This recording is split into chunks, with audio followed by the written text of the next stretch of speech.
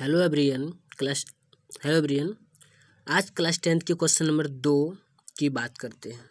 देखते हैं question number दो में क्या कहते हैं, कहता है।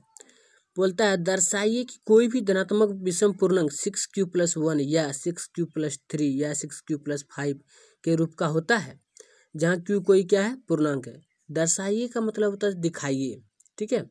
कि दिखाइए कोई भी धनात्मक विषम पूर्णांक, धनात्मक का मतलब हुआ जो हमेशा प्लस में रहता है। विषम उसको बोलते हैं जिस जो दो से नहीं कटता है। ठीक है? पूर्णांक ठीक है? Six Q plus one. देखिए पूर्णांक की बात करें तो पूर्णांक दोनों होता है प्लस और माइनस दोनों। पर यहाँ बोल, बोल दिया धनात्मक तो केवल प्लस वाला ही रहेगा। ठीक है? तो इस रूप का रूप इस रूप का होता है जहाँ क्यू कोई पूर्णांक नहीं हमको सिद्ध करने बोल रहा है प्रश्न को। तो चलिए सॉल्व करते हैं।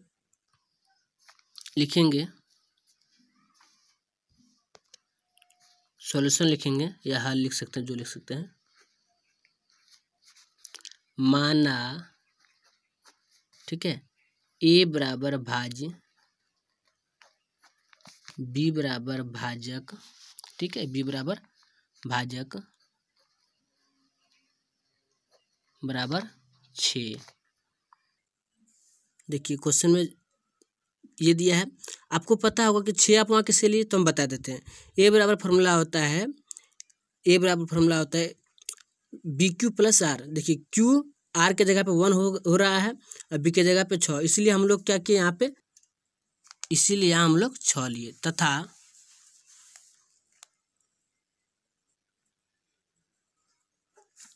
क्यू बराबर भागफल। तथा यहाँ नहीं डालिए क्योंकि लास्ट में डाला जाता तथा आर बराबर शेषफल। क्या होता है? शेषफल, जो कि शेषफल होगा हम लोग का। आप ही बताइए अच्छा अगर हम किसी संख्या को छः से भाग देंगे, किसी संख्या को अगर हम छः से भाग देंगे तो शेषफल अनुमानित बच सकता है क्या? शेषफल वन भी बच, ज़ीरो भी बच सकता है, वन भी बच सकता है, दो भी बच सकता है, तीन भी बच सकता है, चार बच सकता है, पाँच बच सकता है लास्ट लेकिन छः नहीं बचेगा। छः से ये कट जाएगा। कैसे एग्ज़ाम रफ में थोड़ा सा दिखा देते हैं। अगर मान लिया जाए हम छः से भाग दें सात को, ठीक है, ग्यारह को देते हैं। क्या देते हैं? देखिए छः से में ग्यारह को भाग देते हैं। तो लास्ट हाईएस्ट कितना बचता है? पाँच से सफल बचता है। अगर यही दस रहता तो चार बचता। अगर नौ रहता तो तीन बचता। आठ रहता तो दो बचता, ठीक है? सात रहता तो एक बचता। लेकिन छः रहता तो ज़ीरो बचता। पाँच तो कटेगा ही नहीं। और अगर यहाँ अगर बारह कर दें तो शेषफल नहीं बचेगा। तो हम लोग का अनुमानित क्या बच सकता है शेषफल? फाइव तक बच सकता है, ठीक है? अब लिखेंगे हम लोग यहाँ पे यूक्लिड विभाजन एल्गोरिथम का प्रयोग से, ठीक है? फॉर्मूला होता है ए बराबर बी क्यू प्लस आर, जहाँ आर इसके बराबर होता है, ठीक है? अब लिखेंगे हम लोग यहाँ पे देखिए, जो प्रश्न दिया है, six Q plus one, six Q plus three, six Q plus five, इस रूप में हमको लाना है। तो देखिए लिखेंगे, सिक्स क्यू प्लस ज़ीरो बराबर सिक्स क्यू, ये दो से कटेगा। बिल्कुल कट जाएगा, जो दो से कट जाए, वो सम संख्या होता है। जो नहीं कटेगा, वो क्या होता है? विषम संख्या। तो ये हम लोग लिखेंगे सम पूर्णांक। क्या लिखेंगे? सम पूर्णांक। ठीक है? अब देखिए, सर एक सवाल और, ज़ीरो कहाँ से लिए? ज़ीरो शेषफल से ले रहे बाबू। ज़ीरो शेषफल से ले रहे हैं। अब वन लेते हैं। क्या लेते हैं? वन। तो ये दूसरे नहीं कटेगा। नहीं कटेगा तो ये क्या हुआ? विषम पूर्णांक। विषम पूर्णांक। ठीक है? अब फिर देखिए यहाँ क्या है? दो है तो दो लेंगे हम लोग, जो कि दो, ये भी दो से कट जाएगा, ये भी दो से कट जाएगा। क्या हो गया? संपूर्णांक। ठीक है? आप क्या लेंगे फिर? थ्री। देखिए, ये तो दूसरे कट जाएगा, पर ये कटने वाला नहीं है। ये क्या हो गया? विषम पूर्णांक क्या हो गया? विषम पूर्णांक ठीक है? Six Q plus four. क्या हो गया ये? संपूर्णांक क्योंकि दो दो से सिक्स भी कट जाएगा और चार भी कट जाएगा। फिर सिक्स क्यू? Plus five. दो से, छः कट जाएगा, लेकिन पाँच नहीं कटेगा, इसलिए क्या हो गया ये? विषम पूर्णांक। ठीक है? तो देखिए, आप क्या देख सकते हैं? कि six Q plus one six Q plus three six Q plus five के रूप का होता है देखिए आ गया होगा आपका six Q plus one six Q plus three six Q plus five का रूप का होता है अतः सिक्स क्यू या सिक्स क्यू प्लस वन या सिक्स क्यू प्लस टू या सिक्स क्यू प्लस थ्री या सिक्स क्यू प्लस फोर या सिक्स क्यू प्लस फाइव के रूप में के रूप का होता है।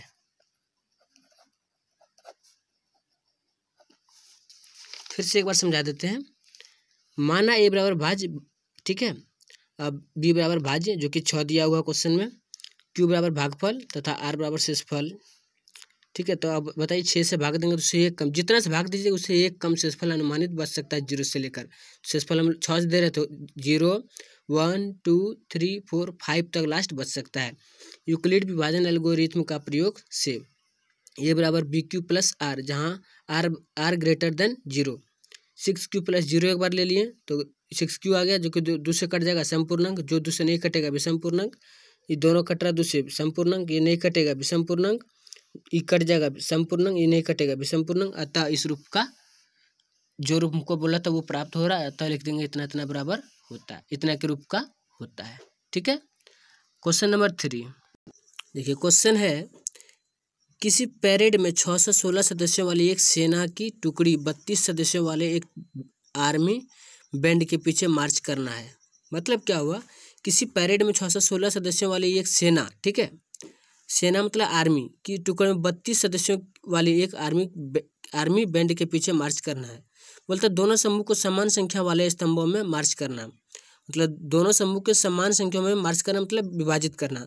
उन स्तंभों की संख्या बताई जो अधिक से अधिक क्या है, जिसमें वे मार्च कर सकते हैं। पहले वीडियो में बता सक, बता दिए थे। अगर बड़ी से बड़ी संख्या बोले तो एच ज्ञात करना, अधिक मतलब बड़ी, और छोटी छोटी संख्या बोले तो एलसीएम ज्ञात करना है ठीक है? तो यहाँ बड़ी बड़ी बोल रहा है तो ऑटोमेटिक ये मेरा क्या ज्ञात करने बोल रहा है? एच सी एफ़ ज्ञात करने बोल रहा है। ठीक है, चलिए बनाते हैं। क्वेश्चन है छः सौ सोलह और बत्तीस। बड़ा ये है, ये हो गया हम लोग का छः सौ सोलह और बी हो गया हम लोग का बत्तीस। ठीक है?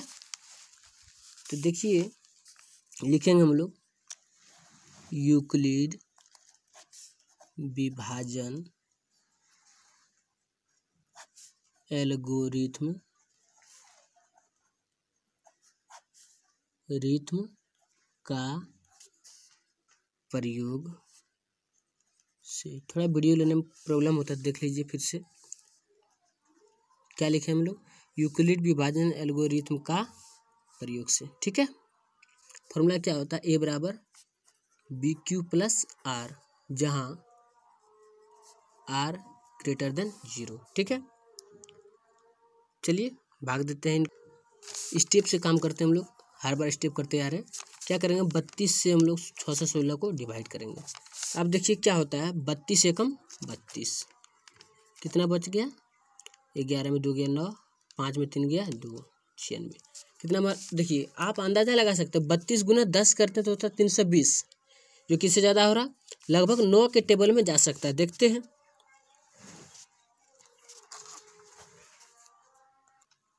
देखिए, नौ दिन अठारह के, आठ हाथ में एक नौ तीन सत्ताईस, सर एक, अट्ठाईस। दो सौ अट्ठासी आ जाता है तो लिख देंगे हम लोग नौ का टेबल में दो सौ अट्ठाईस।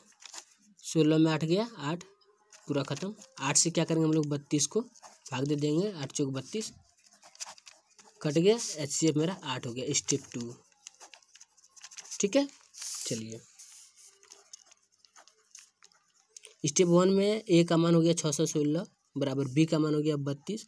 कितने बार में कटा है? उन्नीस बार में कटा है, उन्नीस लिख देंगे। शेषफल क्या बचा है? आठ बचा है। चलिए आठ लिख दिए। अब क्या होगा? हम बार बार बताए थे कि ये यहाँ आ जाता है स्टेप टू में। ठीक है? और ये आठ जो लास्ट वाला है, इसके जगह पे ले लेता है। कितने बार में कटेगा? आठ चौका बत्तीस। शेषफल ज़ीरो। ठीक, इसके सामने वाला या ऊपर ले सकते हैं तो आंसर हो गया हम लोग एच सी एफ़ का आठ। आंसर मिला सकते हैं। ठीक है? उम्मीद करता हूँ क्वेश्चन थ्री भी आपको समझ में आ गया होगा। चलिए क्वेश्चन चार। क्वेश्चन चार देखिए क्या बोलता है। यूक्लिड विभाजन परिमेका का प्रयोग करके दिखाइए। दिखाइए मतलब दर्शाइए। बात वही है, वहाँ बोला से दर्शाइए, यहाँ बोला था दिखाइए। किस, किसी धनात्मक पूर्णांक का वर्ग किसी पूर्णांक एम के लिए थ्री एम या थ्री एम प्लस वन के रूप का होता है?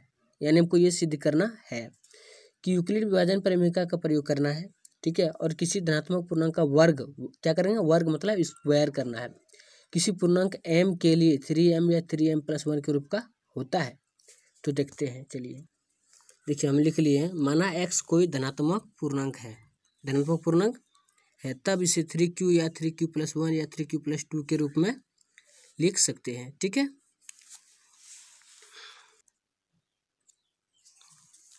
प्रत्येक को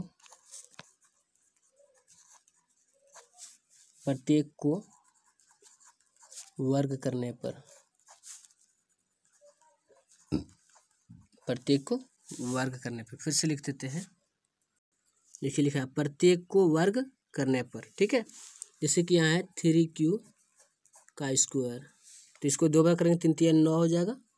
नौ क्यू स्क्वायर इसको तीन एम के रूप में लिखने बोला थ्री कॉमन ले लेंगे। तो जाएगा तीन तीन नौ क्यू स्क्वायर यानी हो जाएगा इसको थ्री एम जहाँ जहाँ थ्री, जहाँ एम बराबर थ्री क्यू स्क्वायर है, ठीक है? देखिए क्या किया हम लोग प्रत्येक स्क्वायर करने पर थ्री क्यू बराबर हो जाएगा नौ क्यू स्क्वायर। तीन एम के रूप में बोला, जितना बोलेगा उतना ही कॉमन लेंगे। थ्री एम बोला थ्री, यानी थ्री कॉमन ले लिया थ्री थ्री जा नाइन, क्यू स्क्वायर आ गया। इसको लिख सकते हैं थ्री एम क्या लिख दें थ्री, इसको थ्री और इस पूरा को ब्रेकेट वाला को एम जहाँ एम बराबर हो जाएगा ये ब्रेकेट वाला, थ्री क्यू स्क्वायर, ठीक है? अब जो है ए प्लस बी का फॉर्मूला यूज़ होगा। तो ए प्लस बी का होल स्क्वायर का फॉर्मूला होता है A square plus two A B plus B square जैसे कि आप क्या किए थ्री क्यू प्लस वन देखिए, यहाँ प्रत्येक को बोला वर्क करने पे यहाँ है ना? प्रत्येक वर्क करने पर यहाँ देखिए थ्री क्यू प्लस वन को ले रहे हैं। थ्री क्यू प्लस वन का हो जाएगा three Q square plus two A B यानी टू बी के सामने वन है तो टू ए के सामने three Q plus into one mistake हो चुका है, कर देते हैं। इंटू वन कर दिए प्लस वन अब क्या होगा थ्री का स्क्वायर नाइन तीन दूना छः कम छः क्यू प्लस वन। कॉमन ले लिए तो थ्री थ्री जा नाइन, ठीक है? थ्री टू जा सिक्स, प्लस वन तो बाहर ले लिए। थ्री एम प्लस वन, अब एम बराबर लिखेंगे जहाँ एम बराबर हो जाएगा three Q plus two Q, ठीक है? ठीक। थ्री क्यू प्लस टू का होल स्क्वायर तो पहले बता दिए फॉर्मूला ए स्क्वायर होता है। Plus two A B plus B square, तीन का स्क्वायर नाइन क्यू स्क्वायर हो गया। तीन दुना छः दुना बारह क्यू प्लस दो का स्क्वायर चार इसको लिख सकते हैं। नौ क्यू स्क्वायर प्लस बारह क्यू प्लस चार को लिख सकते हैं। थ्री प्लस वन ठीक है? अब क्या करेंगे? हम इसको कॉमन ले लेंगे। थ्री थ्री ले लिए कॉमन थ्री थ्री जा nine square nine Q square three four जा ट्वेल्व क्यू प्लस थ्री एकम थ्री ठीक है? प्लस वन इसको ले सकते हैं थ्री ब्रैकेट वाला पूरा एम मान लिए प्लस वन जहाँ एम बराबर हो जाएगा ब्रैकेट वाला three Q square plus four Q plus one अतः इसको लिख सकते हैं। थ्री एम या थ्री एम प्लस वन के रूप में लिख सकते हैं।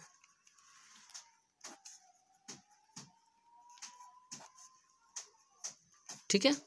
अतः थ्री एम या थ्री एम प्लस वन के रूप में लिख सकते हैं। क्वेश्चन पाँच देखिए। बोलता है, यूक्लिड विभाजन प्रेमिका का प्रयोग करके यह दिखाइए कि किसी धनात्मक पूर्णांक का घन। अब की बार क्या पूछ रहा है? अगला क्वेश्चन में पूछा था वर्ग, लेकिन इसमें क्या पूछ रहा है घन? सेम क्वेश्चन एक परसेंट भी चेंज नहीं है। नाइन एम या नाइन एम प्लस वन या नाइन एम प्लस एट का रूप का ही होता है। तो चलिए सिद्ध करते हैं इसका बहुत। देखिए, जैसे क्वेश्चन चार था वैसे ही। माना एक्स कोई धनात्मक पूर्णांक है पूर्णांक है तब इसे थ्री क्यू या थ्री क्यू प्लस वन या थ्री क्यू प्लस टू के रूप में लिख सकते हैं। देखिए, यही चारों में, चार क्वेश्चन में भी था। देखिए क्वेश्चन नंबर फोर में भी यही था। माना एक्स कोई धनात्मक पूर्णांक है है, तब इसे थ्री क्यू थ्री क्यू या थ्री क्यू प्लस वन या थ्री क्यू प्लस टू के रूप में लिख सकते हैं। सेम क्वेश्चन आते मिल गया उसका भी। यहाँ लिखा प्रत्येक को वर्क करने पे, जबकि यहाँ क्या लिखा प्रत्येक को घन करने पर सर, सारा काम घन कर दिए। थ्री क्यू का घन किए सत्ताईस क्यू हो गया। क्यूब का पावर क्यूब नौ कॉमन ले लिया क्योंकि नौ एम के रूप में लिखने बोला क्वेश्चन देखिए, ठीक है? तो नौ एम इसको मान लिया जहाँ एम बराबर ब्रैकेट का होगा, फिर इसका ए प्लस क्यूब में तोड़ दिया फॉर्मूला लिखा हुआ है। ए के ए प्लस बी का हल क्यूब इसका फॉर्मूला पुट कर दिया फॉर्मूला पुट करने पे आ गया हम लोग का। अब देखिए थ्री का क्यूब हो गया हम लोग का सत्ताईस क्यूब ठीक है? सत्ताईस क्यूब और थ्री का स्क्वायर हो जाएगा नाइन नाइन तिया सत्ताईस क्यू स्क्वायर देखिए, सत्ताईस क्यू स्क्वायर है। प्लस क्या है? थ्री थ्री जा नाइन नाइन वन नाइन तीन तीन नौ कम नौ नौ लिख दिए नाइन क्यू लिख दिए, ठीक है? प्लस वन प्लस वन लिख दिए, ठीक है? अब क्या करेंगे, यहाँ से हम लोग नौ कॉमन ले लेंगे जगह नौतिया सत्ताईस तीन क्यू क्यूब नौतिया सत्ताईस तीन क्यू स्क्वायर नौ कम नौ क्यूब प्लस वन इसको लिख सकते हैं नाइन ब्रैकेट वाला को M plus one nine M plus one जहाँ एम बराबर हो जाएगा पूरा ब्रैकेट का, देखिए पूरा three Q plus three Q three Q square plus यहाँ एक चीज़ छूट गया है हम लोग का। नहीं, छूटा नहीं, ठीक है। थ्री क्यू स्क्वायर लिखा हुआ प्लस क्यू। ठीक है, यहाँ हम लोग लिख दिए। क्लियर है? फिर सेम प्रोसेस करेंगे थ्री क्यू प्लस टू का हल क्यू थ्री क्यू का cube three Q, three A square B, यानी ठीक है, थ्री क्यू का, थ्री थ्री का स्क्वायर प्लस टू। फिर three three Q into two का स्क्वायर प्लस टू का क्यूब क्या करेंगे नौ तिया सत्ताईस क्यूब हो जाएगा। तीन तीन, नौ। नौ नौ दुना अठारह अठारह तिया, छत्तीस क्यू का स्क्वायर, फिर हो जाएगा यहाँ पे देखिए आपका। तीन तिया, नौ नौ आठ, दो का स्क्वायर चार, नौ चौका, छत्तीस, लिख दिए, प्लस दो का घन आठ। क्या कि नौ का मान ले लिए? नौ तिया सत्ताईस, नौ छक चौवन, नौ चौक छत्तीस सब में क्यू है क्यू डाल दिए, प्लस एट। इसको लिख सकते हैं नाइन एम, पूरा का एम मान लिए, प्लस एट। यानी नाइन एम प्लस एट, जहाँ एम बराबर थ्री क्यू क्यू प्लस पूरा ब्रैकेट वाला यहाँ से आप यहाँ तक लिख सकते हैं। एम का मान यही हुआ ठीक है? क्लियर है? लिख दिए अतः नाइन एम या नाइन एम प्लस वन या nine M plus nine M plus eight के रूप में हम लिख सकते हैं। तो एक पॉइंट एक आज क्लियर हो गया। अब अगले टॉपिक में बात करेंगे हम लोग। एक पॉइंट दो।